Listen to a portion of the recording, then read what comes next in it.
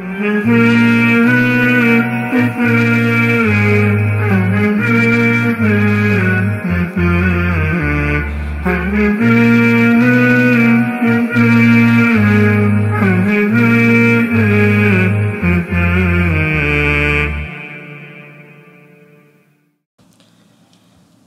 بالله من الشيطان الرجيم.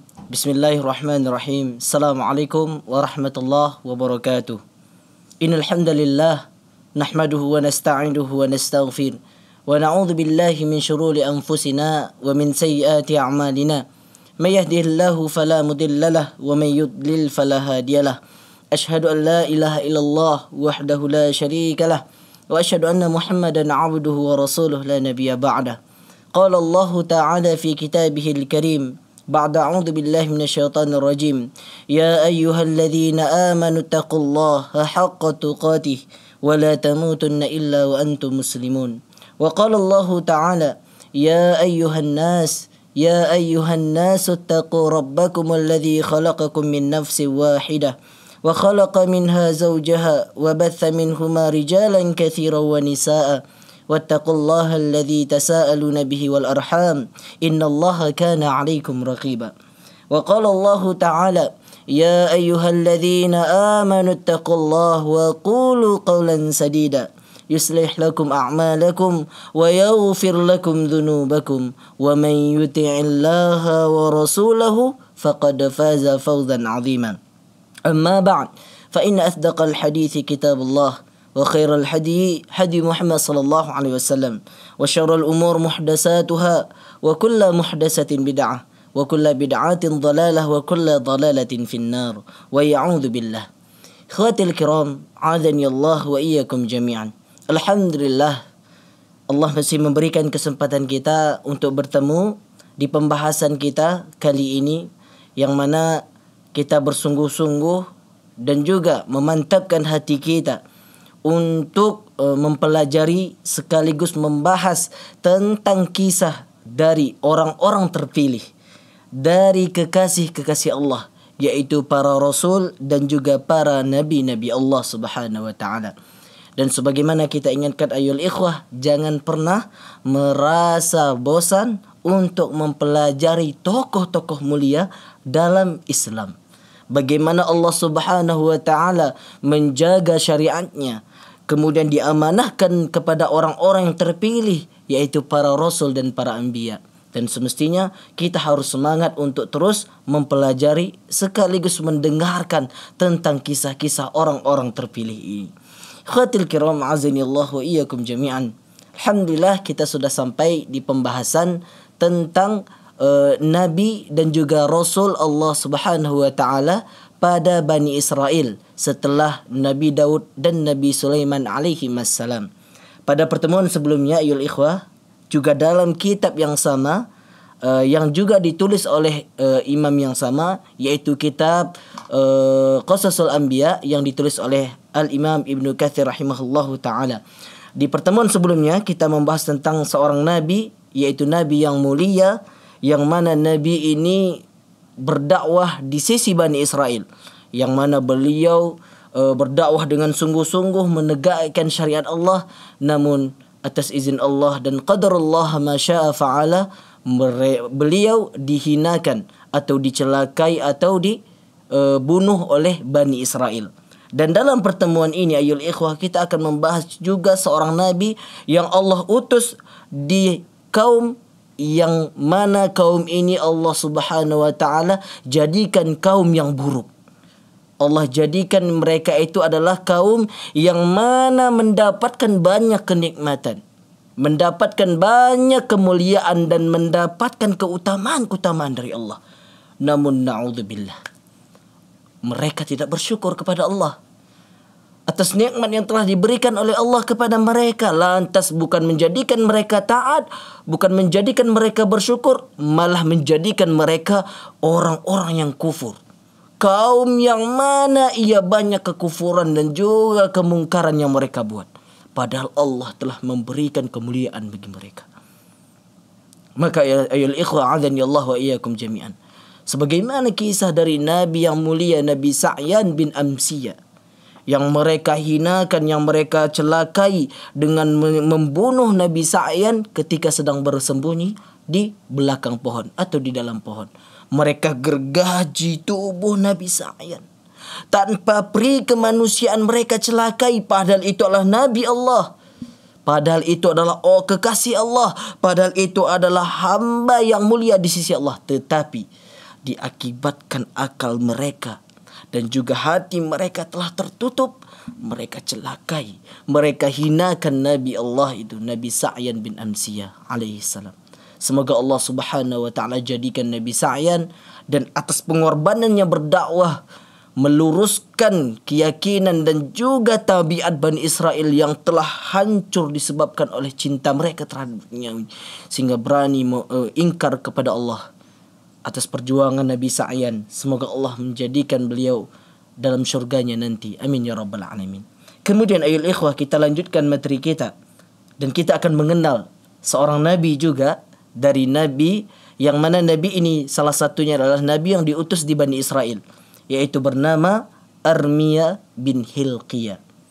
Nama Nabi yang akan kita ceritakan ini atau yang kita bahas kali ini adalah uh, bernama Armia bin Hilqiyah. dikatakan ayul ikhwah dalam kitab Qasasul Anbiya uh, bahwasanya Armia bin Hilqiyah adalah seorang nabi, seorang manusia yang terpilih uh, yang mana beliau ini adalah keturunan dari Lawi bin Yaqub juga memiliki uh, nasab keturunan nasab dari Nabi Yakub yang mana ayahnya adalah Lawi bernama Lawi dan dia bernama Armia bin Hilqiyah. Jadi nenek moyangnya itu adalah uh, dari keturunan Lawi bin Yakub. Jadi dia ini uh, garis keturunannya sampai kepada Nabi Yakub. Taib. Kemudian ada yang berpendapat ayul ikhwah di kalangan para ulama mengatakan bahwasanya Nabi uh, Armia ini bin Hilqiyah adalah Nabi Khidir. Jadi ada sebagian ulama berpendapat bahwasanya yang dimaksud uh, nabi yang bernama Armia bin Hilqiyah ini adalah Nabi Khidir. Namun ini pendapat ini dibantah yang disampaikan oleh Al-Imam Ibnu Dahak. Al-Imam Ibnu Dahak mengatakan bahwasanya beliau mengingkari pendapat yang mengatakan bahwasanya Armia bin Hilqiyah adalah Nabi Khidir. Yang sebagaimana juga dikatakan bahwa riwayat ini adalah riwayat gorib Riwayat ini adalah riwayat yang tidak benar.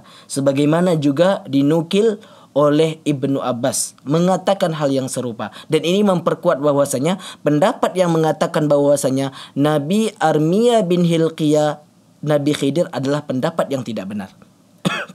Yang benar adalah antara Nabi uh, Armiyah dan juga Nabi Khidir adalah orang yang berbeda, adalah Nabi Allah yang berbeda. Kemudian ayul ikhwah Allah wa iyyakum jami'an. Maka kita mengenal siapa sebenarnya Nabi Armia bin Hilqiyah ini. Bagaimana perjuangan dakwahnya. Bagaimana Allah Subhanahu wa taala mempercayai seorang nabi yang mana nabi ini adalah nabi yang dikenal di kalangan Bani Israel. Disebutkan ayat ikhwah bahwasanya Nabi Armia adalah nabi yang sangat warok. Dia ini adalah seorang pemuda atau seorang hamba yang sangat warok Arti waro adalah beliau itu adalah orang yang sangat berhati-hati. Orang yang sangat menjaga uh, dirinya dari hal-hal yang bisa menjatuhkan dirinya pada maksiat dan keburukan. Itulah makna sifat waro. Ah, dan ini adalah sifat yang baik sebenarnya. Di mana ia takut untuk berbuat sesuatu, ia takut untuk mengerjakan sesuatu, ia takut untuk berucap sesuatu yang mana hal tersebut bisa menjatuhkannya pada keburukan. Dan inilah sifat dari Nabi Armia ini. Beliau dikenal sebagai pemuda, sebagai uh, sosok yang memiliki sifat warok yang besar. Bahkan saking kehati-hatiannya ia enggan untuk melangkahkan kakinya ke dalam hal-hal yang menjatuhkan dirinya pada keburukan. Kemudian ayul ikhwah, dan beliau ini sangat berhati-hati. Beliau sangat menjaga ketaatannya kepada Allah Subhanahu wa taala. Demikianlah dan ini menjadi dalil ayat ikhwah. Allah Subhanahu wa taala tidaklah mengutus seorang nabi melainkan nabi itu adalah nabi yang memang pada dirinya itu adalah sifat yang baik, penuh dengan kebajikan, kaya akan kemuliaan.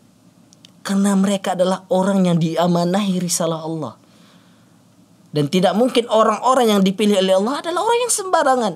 melainkan orang itu adalah orang yang baik dan juga orang yang memiliki kemuliaan pada dirinya. Dan inilah mengapa dikatakan bahwa saya Armia eh, dikatakan sebagai diangkat sebagai nabi karena padanya sifat-sifat seperti ini. Sifat waro, sifat kehati-hatian dan juga sifat menjaga ketaatan dan menjauhi larang-larang Allah Subhanahu wa taala. Pada suatu hari ayat disebutkan dalam riwayat Nabi Armia pernah bertanya kepada Allah Subhanahu wa taala. Beliau berdoa kepada Allah, beliau bermunajat kepada Allah Subhanahu wa taala, lalu dia bertanya kepada Allah. Karena antara nabi dan juga Rabbnya tentu tidak ada uh, pembatas, artinya mereka dekat di mana mereka diberikan oleh wahyu oleh Allah Subhanahu wa taala. Tidak ada hijab antara nabinya dan juga Allah. Segala apa yang dimunajatkan oleh Nabi niscaya Allah akan mendengarkannya, akan mengabulkannya. Karena apa? Karena mereka para nabi adalah orang-orang yang mulia di sisi Allah Subhanahu wa taala. Lantas pada saat itu disebutkan riwayat, Nabi Armia ini pernah bertanya kepada Allah Subhanahu wa taala, bertanya langsung kepada Rabbnya. Selayaknya kita mendirikan salat itu secara tidak langsung adalah kita sedang berkomunikasi, sedang berinteraksi dengan Rabb kita. Tetapi bedanya adalah pada saat itu belum ada syariat salat melainkan adalah melalui uh, haj munajat melalui permintaan, permohonan, penghambaan dilakukan oleh Nabi Armia disebutkan dalam riwayat ini. Maka dikatakan ayat ikhwan Nabi Armia bertanya kepada Allah Subhanahu wa taala, "Wahai Rabbku yang maha suci, yang maha mulia, kabarkan kepadaku tentang manusia yang engkau cintai." Demikian pertanyaan Nabi Armia kepada Allah Subhanahu wa taala. Nabi Armiyah bin Hilqiyah bertanya kepada Allah, Wahai Rabbku yang maha suci, kabarkan kepadaku tentang manusia-manusia yang engkau cintai, tentang manusia-manusia yang engkau ridhoi. Maka Allah Subhanahu wa taala menurunkan wahyu kepada Nabi uh, Armiyah bin Hilqiyah lalu memberikan kriteria melalui wahyu itu kepada mengabarkan tentang manusia-manusia yang Allah cintai manusia-manusia yang Allah ridai melalui wahyunya kepada Nabi Armia. Apa yang dikatakan oleh Allah Subhanahu wa taala? Wahai Armia, wahai nabiku, sesungguhnya aku mencintai orang-orang yang senantiasa berzikir mengingatku. Itu yang pertama, ya ikhwan. Ketika kita bertanya tentang bagaimana uh, sifat ataupun karakter hamba yang dicintai oleh Allah Subhanahu wa taala, lihatlah bagaimana Allah Subhanahu wa taala menjawab munajat dari Nabi Armia. Ketika Nabi Armia bertanya kepada Allah Subhanahu wa taala tentang mm, sosok manusia yang dicintai atau yang mulia di sisi Allah. Maka ini ah, ketika kita bertanya tentang manusia yang diridhoi oleh Allah Subhanahu wa taala, manusia yang dicintai oleh Allah Subhanahu wa taala, maka karakternya ada di sini dari jawaban Allah Subhanahu wa taala dari wahyu yang diturunkan oleh Nabi Armia oleh diturunkan oleh Allah kepada Nabi Armia. Allah katakan, yang pertama adalah orang-orang yang senantiasa berzikir mengingatku. Dan ini menandakan ayat ikhwah. Orang-orang yang mengingat Allah dengan berzikir senantiasa menjaga zikirnya adalah orang-orang yang mencintai Allah. Sebagai umpama ayol ikhwah, tidaklah kita mencintai sesuatu, melainkan kita akan senantiasa mengingatnya. Tidaklah kita mencintai sesuatu seperti sebagaimana kita mencintai pasangan kita, kita mencintai keluarga kita, kita mencintai anak istri kita, kita mencintai pekerjaan kita. Kita akan berusaha untuk memberikan hal terbaik kepada mereka. Dan ini menjadi pelajaran ayul ikhwah untuk mendapatkan ridho Allah, untuk mendapatkan cinta Allah, lakukan sebagaimana apa yang jawaban Allah kepada Nabi Armia. Allah katakan, hamba yang paling kucintai adalah orang-orang yang senantiasa berzikir kepadaku. Maka dengan berzikir kita dekat dengan Allah Subhanahu wa taala. Kemudian Allah katakan juga, yang kedua adalah orang yang senantiasa menyibukkan ketaatan kepadaku. Itu pesan yang disampaikan Allah kepada Nabi Armia. Jadi orang-orang yang senantiasa menjaga ketaatannya, menjauhi larangannya, yang dalam artian adalah orang yang senantiasa bertakwa, itu adalah orang yang dicintai oleh Allah Subhanahu wa taala.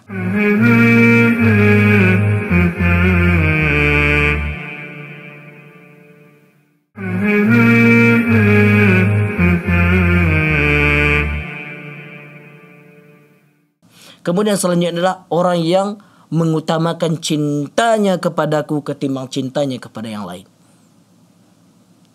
Orang yang loyalitas rasa cintanya kepada Allah adalah orang-orang yang mendapatkan kenikmatan, mendapatkan uh, ridho dari Allah Subhanahu wa taala.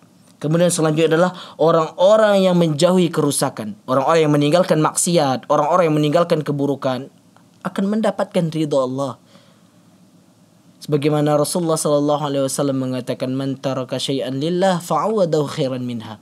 Barang siapa yang meninggalkan kemungkaran barang siapa yang meninggalkan keburukan barang siapa yang meninggalkan kemaksiatan karena Allah. Ingat ikhwan karena Allah. Niscaya Allah akan menggantikan niscaya Allah akan mengembalikan niscaya Allah akan memberikan yang lebih baik ketimbang yang kita harapkan sebelumnya karena apa? Karena kita menginginkan kebaikan itu karena Allah. Kita meninggalkan keburukan itu karena Allah. Kita yakin bahwasanya Allah akan mengganti dengan yang lebih baik. Demikianlah.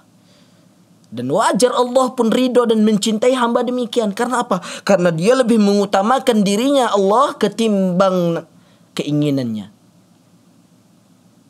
Kemudian yang terakhir adalah orang-orang yang takut hidup lama dan juga orang-orang yang benci akan tipu daya dunia. Berbeda dengan zaman kita sekarang ya. Kebanyakan orang lebih cinta duniawi dan mereka takut mati. Sebagaimana hadis yang dikabarkan oleh uh, Rasulullah sallallahu alaihi wasallam tentang penyakit cinta dunia. Dan Rasulullah sallallahu alaihi wasallam mengabarkan tentang ketakutannya, kekhawatirannya nanti kepada umatnya adalah penyakit cinta dunia dan takut tentang mati takut mendengar berita kematian. Ayo ikhwan adani Allah wa iyyakum jami'an. Demikian bagaimana berita yang dikabarkan oleh Nabi Armia menanyakan kepada Allah Subhanahu wa taala tentang hamba yang terbaik di sisinya. Dan itu menjadi motivasi bagi Nabi Armia. Kita bercerita bagaimana motivasi Nabi Armia untuk menjadi hamba yang baik di hadapan Allah Subhanahu wa taala. Dan pertanyaannya adalah Wahai Rob, kabarkan kepadaku tentang manusia yang engkau cintai, manusia yang terbaik di sisimu. Allah jawab. Dan Nabi Armia berusaha menjadikan dirinya demikian. Makanya dia dikatakan sebagai nabi yang sangat baik sikapnya, yang ba sangat baik amalannya dan yang paling warok. Karena ia ingin di karena dia ingin mendapatkan prestasi agar menjadi manusia terbaik di sisi Allah. Dia dia seorang nabi padahal. Ayo ikhwah. Dan ini men mungkin menjadi dalil dan menjadi alasan bagi kita. Bahkan seorang nabi sekalipun bahkan seorang yang dijamin masuk surga pun mereka berlomba-lomba pada kebaikan. Mereka berusaha untuk beribadah, mereka berusaha meninggalkan maksiat. Lantas bagaimana dengan kita yang belum ada jaminan sama sekali? Belum ada jaminan bagi kita ya ikhwah mendapatkan surganya Allah. Tetapi kita masih berani dengan maksiat.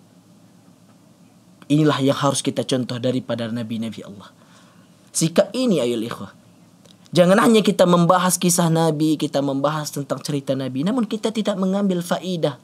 Kita tidak mengambil pelajaran. Dan ini kita sampaikan tentang bagaimana waroknya Nabi Armia, bagaimana ketekunannya dalam ibadah. Itulah yang kita contoh. Kita lanjutkan. Maka Allah Subhanahu wa taala mengutus Nabi Armia bin Hilqiyah di tengah kaum-kaum yang pada saat itu banyak kemungkaran. Di tengah-tengah kaum yang mana kaum itu e, menjadikan bahwasanya kedustaan dan juga kemungkaran di tengah-tengah mereka. Bahkan dikabarkan ayul ikhwah pada saat itu kaum di mana mereka berani dengan terang-terangan menentang Allah berani mereka membunuh nabi-nabi Allah. Di tengah kaum-kaum itu Allah utus nabi Armia bin Hilkiyah dan itulah perjuangan Nabi Armia menyadarkan tentang kerusakan Bani Israel. Mengembalikan mereka kepada jalan yang kebenaran. Disebutkan oleh Allah Subhanahu wa taala dalam firman-Nya Quran surat Al-Isra ayat 2 sampai dengan 8 ketika kita membaca ketika uh, anda membaca tafsirnya maka ber, anda simpulkan ayat di sini Allah Subhanahu wa taala telah memberikan kenikmatan kepada Bani Israel Di sini Allah Subhanahu wa taala menjadikan Bani Israel adalah kaum yang terpilih. Makna terpilih adalah kaum di mana mereka mendapatkan banyak kemuliaan. Ayol ikhwah, sesungguhnya Bani Israel ini banyak diturunkan oleh Allah Subhanahu wa taala nabi. Seperti Nabi Musa, Nabi Daud, Nabi Sulaiman, Nabi Sa'yan. Bahkan keturunan mereka pun adalah seorang rasul, seorang nabi. Nenek moyang mereka adalah seorang nabi. Namun akibat ketamakan dan kekufuran mereka di digelimangi dengan duniawi sehingga mereka pun mengingkari hakikat ini. Mereka pun mengingkari kenyataan ini dan bahkan sampai pada tahap mereka berani menentang Allah, mereka berani membunuh nabi-nabi Allah. Kerusakan macam mana lagi yang lebih fatal ketimbang kerusakan yang dilakukan oleh Bani Israel. Dikatakan ayat ikhwah bahwasanya dalam tafsir yang dinukil oleh Imam Ibnu Katsir bahwasanya Kenikmatan luar biasa telah diberikan oleh Allah kepada Bani Israel. Sehingga dari itu, inilah bagaimana hati ketika telah terkotori oleh duniawi. Kita lupa diri. Kebanyakan kita setelah kita tahu bahwasanya itu bukanlah dari apa hasil usaha kita, dari hasil kehendak kita, melainkan segala kenikmatan yang telah kita dapatkan itu datangnya dari Allah. Tapi kebanyakan orang-orang ketika mereka mendapatkan suatu kelebihan, ketika mereka mendapatkan suatu kenikmatan, mereka bukan semakin bersyukur, bukan semakin taat, melainkan mereka berbelok Allah sehingga mereka berani bermaksiat. Lantas dengan menyombongkan diri berkata, sesungguhnya apa yang aku dapat ini adalah hasil dari kerjaku, hasil dari keringatku. Itu adalah kesombongan dan itulah ucapan yang dilakukan eh, ucapan yang disampaikan. Ucapan yang eh, ucapan yang dikatakan oleh Bani Israel ketika mengkufuri nikmat yang telah diberikan oleh Allah Subhanahu wa taala bagaimana kerusakan Bani Israel ayol ikhwah mereka adalah bani ada mereka adalah kaum yang mana mereka kufur terhadap nikmat Allah. Saking banyaknya nikmat yang telah diberikan oleh Allah namun mereka lupa diri. Bukan malah menjadikan mereka bersyukur, melainkan mereka malah ingkar kepada Allah Subhanahu wa taala. Allah jadikan kaum mereka adalah kaum yang makmur. Di mana pada saat itu Allah berikan kenikmatan harta melimpah, makanan yang lezat, Bahkan mereka memperoleh makanan langsung dari surga. Allah turunkan kepada Bani Israel. Mereka kaum, mereka Bani yang menyantap makanan surga. Tetapi mereka masih ingkar kepada Allah. Mereka masih meragukan bahkan menyekutukan Allah. Demikianlah kerusakan yang dilakukan oleh Bani Israel. Jangan bukan hanya itu kenikmatan wanita-wanita, anak-anak terlahir dari rahim-rahim istri-istri mereka. Mereka menikmati, namun mereka lupa diri. Mereka tinggalkan ketaatan kepada Allah. Mereka berani bermaksiat kepada Allah. Khawatir kiram Allah wa iyyakum jami'an. Ini bisa kita ambil pelajaran ayuh kita ambil pelajaran bahwasanya kenikmatan yang diberikan oleh Allah bisa menjadikan kita dua tipe dua tipe dua orang. Bisa jadi kita menjadi manusia yang paling bersyukur dan bisa jadi menjadikan kita manusia yang paling ingkar.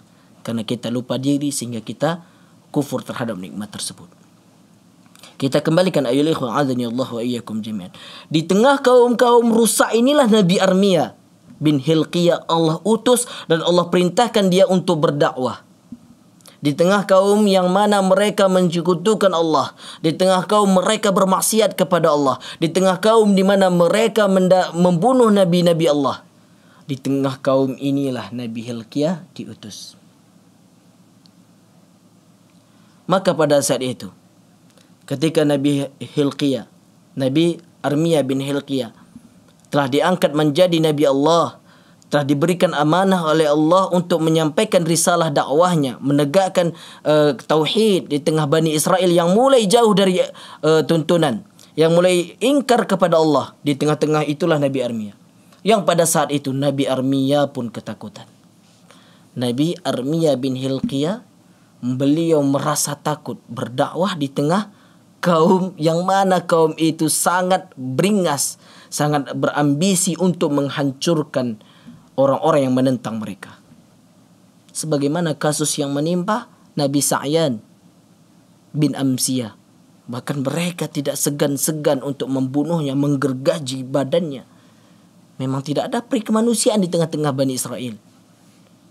Di tengah-tengah itu pula Nabi Armia pun diamanahkan oleh Allah. Maka pada saat itu ketika Nabi Armia datang menemui Bani Israel, Lalu Nabi Armia berwasiat kepada mereka, berkhutbah di hadapan mereka. Wahai Nabi, wahai Bani Israel, kata Nabi Armia kepada Bani Israel. Yang pada saat itu kita ketahui bahwasanya Bani Israel memang di tengah tengah kekufuran mereka, di tengah-tengah kemungkaran banyak mereka lakukan. Di tengah saat itu pula Nabi Armia berusaha untuk menyadarkan kesalahan itu. Lalu Nabi Armia mengatakan, "Wahai Bani Israel, Sesungguhnya ketika engkau melihat siapa nenek moyangmu, mereka adalah seorang nabi, mereka adalah nasab nabi, mereka adalah orang yang luhur, mereka adalah orang yang mulia. Mereka adalah orang-orang yang taat dan menjaga syariat Allah. Lantas kenapa engkau, kenapa kalian menjadi seburuk-buruk umat, menjadi seburuk-buruk kaum yang mana tidak mengikuti jalan nenek moyangmu? Lalu pada saat itu Nabi Armia pun mengatakan Armia, Nabi Armia bin Hilkiah pun mengatakan kepada Bani Israel Sesungguhnya kalian adalah uh, sekelompok kaum, sekelompok bani di mana kalian memiliki mata namun tidak bisa melihat. Kalian memiliki telinga namun tidak bisa mendengar. Kalian memiliki hati namun tidak bisa memahami. Bukankah kalian lebih buruk daripada binatang? Demikian perkataan Nabi Armia bin Hilkiah menyadarkan bagaimana keburukan Bani Israel. Memang kita ayol ikhwan azani Allah wa iyyakum jami'an. Ketika kita melihat bagaimana fenomena yang diceritakan yang diriwayatkan dari beberapa referensi bagaimana bagaimana memang kekufuran dari Bani Israel ini mereka seperti manusia-manusia yang penuh dengan keburukan manusia-manusia yang penuh dengan kedustaan yang mana setiap perkataan yang keluar dari lisannya adalah kedustaan Diriwayatkan ayol ikhwa Allah wa iyyakum jami'an. Kekufuran dan kemungkaran merajalela di tengah Bani Israel. Dan wajar ketika Nabi Armia ketika berdakwah di hadapan mereka Nabi Armia mengucapkan kata demikian karena melihat bagaimana kerusakan moral, adab dan akal Bani Israel. Wajar. Disebutkan ayol ikhwah di mana rahib-rahib dari Bani Israel ini mereka sudah cinta terhadap duniawi. Tidak segan-segan mereka bermaksiat. Padahal mereka adalah seorang rahib. Artinya adalah seorang pemuka agama, seorang ahli ibadah. Tetapi di situ tidak lagi ada bedanya seorang ahli ibadah dengan ahli maksiat. Karena mereka sudah lu, lu hilang akalnya. Tidak lagi mampu membedakan mana kebenaran, mana kesalahan. Disebabkan oleh mereka telah jauh dari tuntunan dikatakan bahwasanya rahib-rahib mereka eh, sudah sibuk dengan duniawi. Eh, sibuk mencari harta benda. Padahal mereka adalah seorang pemuka agama. Disebutkan juga bahwasanya eh, ahli baca mereka telah ahli baca mereka, ahli baca Taurat pada saat itu, ahli fikih. Kita sebutlah mereka adalah ahli fikih di tengah Bani Israel pada saat itu mereka sudah mengeluarkan uh, syariat-syariat baru alias mereka membuat bid'ah-bid'ah. Mereka membuat ajaran-ajaran baru yang itu sebelumnya tidak ada di syariat nabi-nabi sebelumnya. Mereka mereka buat uh, ajaran-ajaran membuat amalan-amalan yang tidak ada tuntunannya.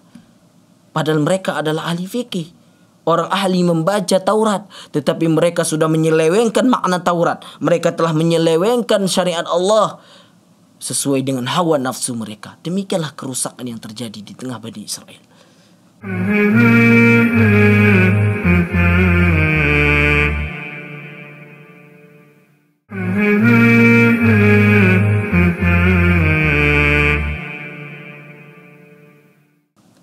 Dan saat itu pemuda-pemuda sudah bermaksiat. Tidak lagi mampu membedakan mana yang halal, mana yang haram. Dan disebutkan juga ayat ikhwah. Dan ahli ibadah mereka juga telah jauh dari ketaatan. Bahkan pada saat itu pemimpin-pemimpin mereka, pemimpin-pemimpin mereka banyak telah berlaku zalim kepada rakyatnya. Dan ini sejalan ayul ikhwah. Sejalan. Sejalan mengapa Allah pun jadikan mereka seburuk-buruk kaum. Menjadikan mereka se seburuk-buruk bani. Seburuk-buruk umat. Dikarenakan memang mereka adalah demikian yang mereka lakukan. Keburukan demikian yang mereka lakukan. Ayul ikhwah adani Allah wa iyyakum jami'an. Bani Israel menyimpan banyak tipu daya. Esok uh, hari ini ia katakan beriman, namun esok harinya ia bisa kufur kepada Allah. Esoknya lagi ia katakan ia taubat, namun esoknya lagi ia katakan ia telah ingkar. Demikianlah tipu daya muslihat yang dibuat oleh Bani Israel. Maka dikatakan di sini ayat ikhwah bahwasanya Bani Israel ketika mereka berkata tidak bisa kita percaya. Karena di antara benar atau tidaknya tidak ada pembeda. Bisa jadi benar pun itu bisa kedustaan. Ataupun kedustaan otomatis tidak ada kebenaran pada ini. Demikianlah perkataan Bani Israel pada saat itu. Allah Subhanahu wa taala melihat hal ini bagaimana rusaknya Bani Israel pun bersumpah. Allah bersumpah kepada Bani Israel.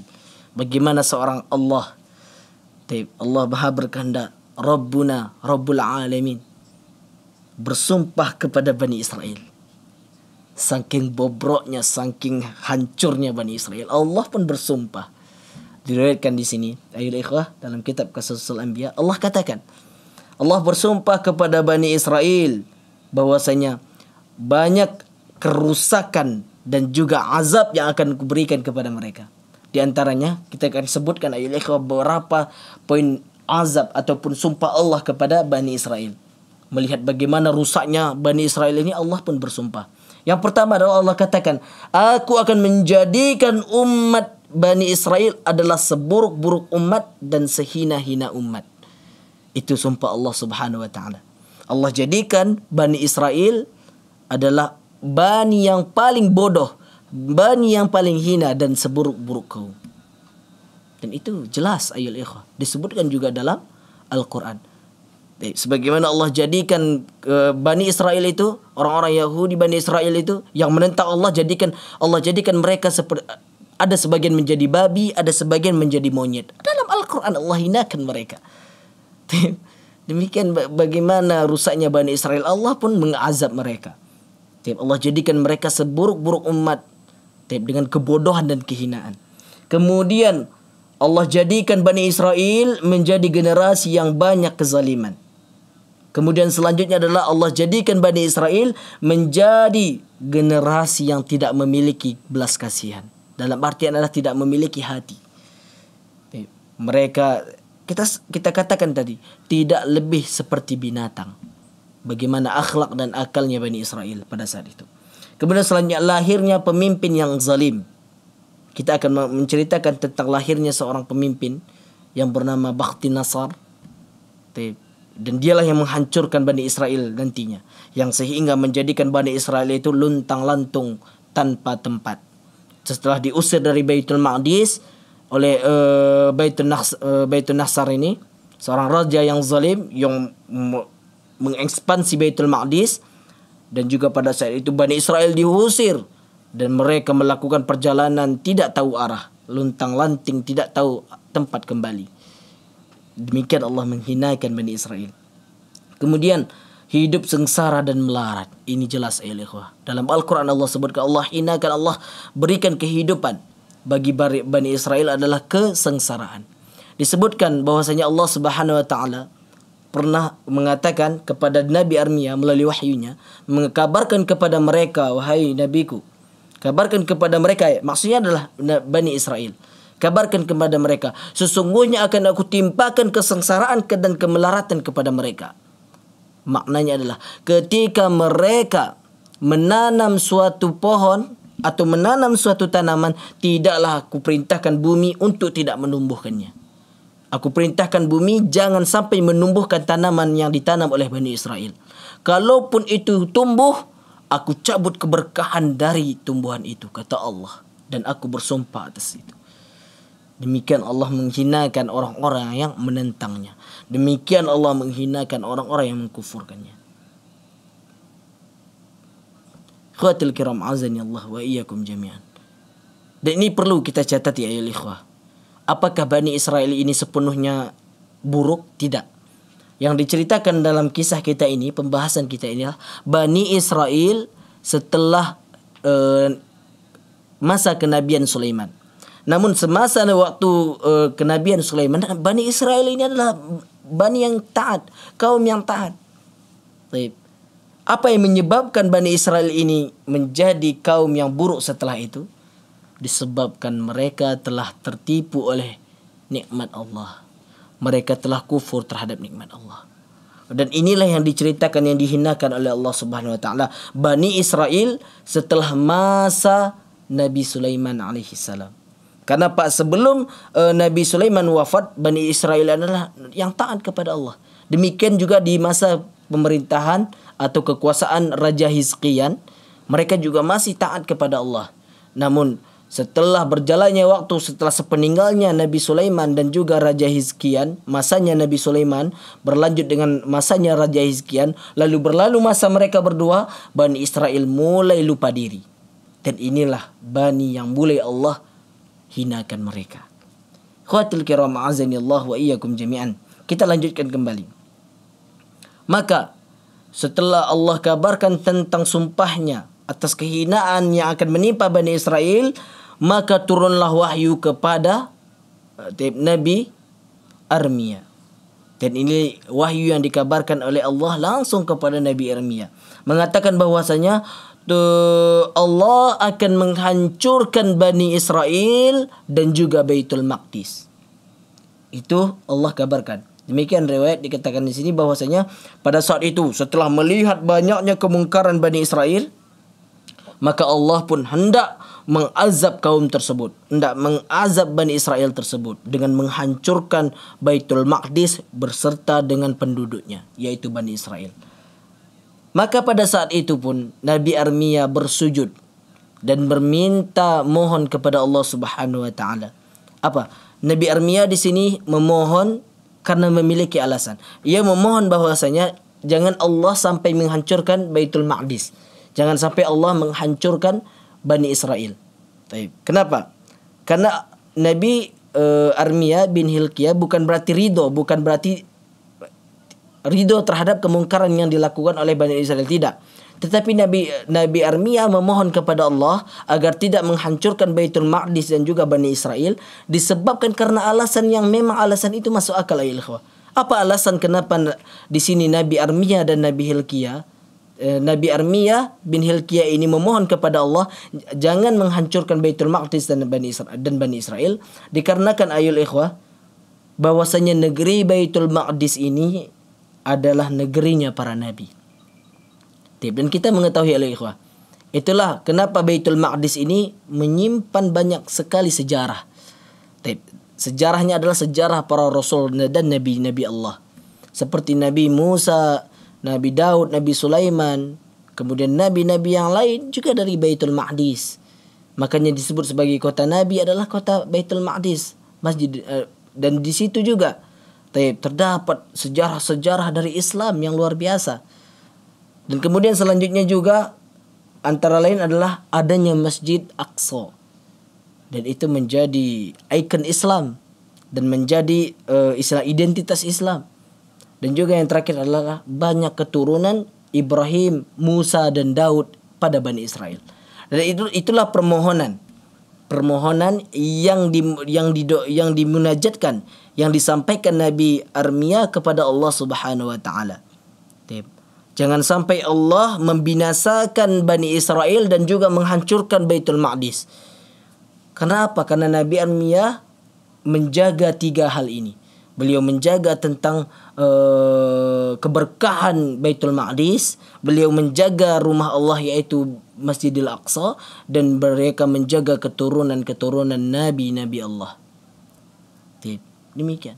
Lantas melihat bagaimana ke keseriusan dan juga ketekunan Nabi Armia ini maka Allah Subhanahu wa taala mengurungkan niatnya.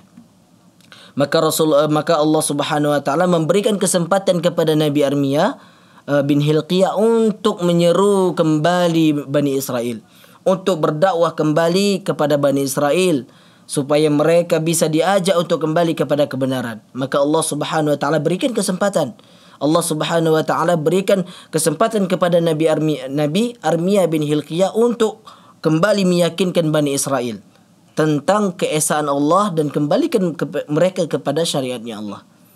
Namun pada saat itu pun Nabi Armia masih mengeluhkan kepada Allah, "Ya Rob, sesungguhnya aku adalah hamba yang lemah." Dan aku tidak sanggup untuk menghadapi Bani Israel yang mereka telah berani membunuh nabi-nabimu. Maka pada saat itu Allah Subhanahu wa taala meyakinkan Nabi Armia Jangan pernah takut kepada mereka. Sesungguhnya kebaikan dan keburukan terjadi di permukaan bumi atas kehendakku.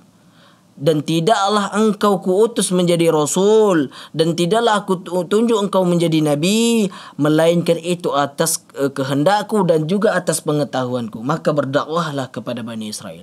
Maka pada saat itu Nabi uh, Armia pun mulai mendakwahi Bani Israel dan mengajak mereka pada kebenaran.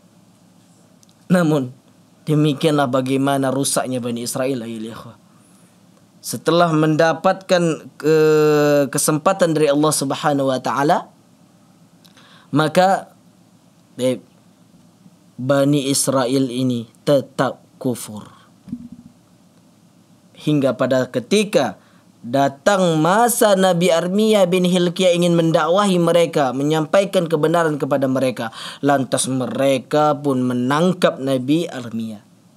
Sebagaimana mereka lakukan kepada Nabi Sa'yan sebelumnya. Mereka tangkap Nabi Armia, mereka ikat, mereka penjarakan, bahkan mereka hendak membunuh Nabi Armia. Lantas pada saat itu Allah tidak akan mungkin membiarkan nabinya celaka. Allah pasti akan menjaga nabinya. Allah akan pasti melindungi nabinya. Dan itu terbukti ayo ikhwah. Ketika Bani Israel ingin mencelakai Nabi Armia, ketika eh, Bani Israel ingin membunuh Nabi Armia bin Hilqiyah, maka Allah Subhanahu wa taala memberikan pertolongan melalui datangnya Raja Bakhti Nasar. Itulah yang eh, sebagaimana yang kita sampaikan di uh, tadi sebelumnya tadi bahwasanya Nabi uh, bahwasanya Bani Israel itu dihinakan nanti disebabkan datangnya seorang penguasa yang menzalimi mereka yaitu Bakhti Nasar. Maka ketika eh, Bani Israel ingin mencelakai Nabi Armia, maka ketika itu datanglah pasukan dari Bakhti Nasar lalu mengepung kota Baitul Maqdis dan ingin meluluhantakkan Bani Israel. Hingga pada saat itu Bani Israel pun ketakutan melihat pasukan yang begitu banyak dari Bakti Nasar ini, Raja Bakti Nasar ini.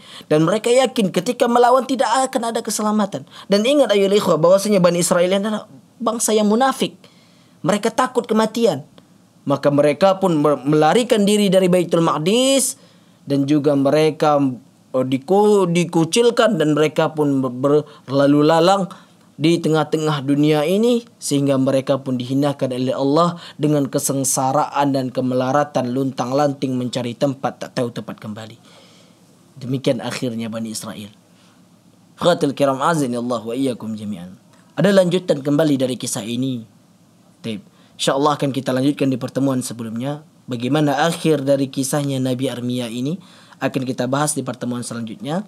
Dan mudah-mudahan pertemuan kali ini bermanfaat dan menambah wawasan kita tentang Nabi Armia bin Hilqiyah dan juga bagaimana dakwahnya di tengah Bani Israel yang mana banyak kerusakan dan kemungkaran kepada Allah Subhanahu wa taala.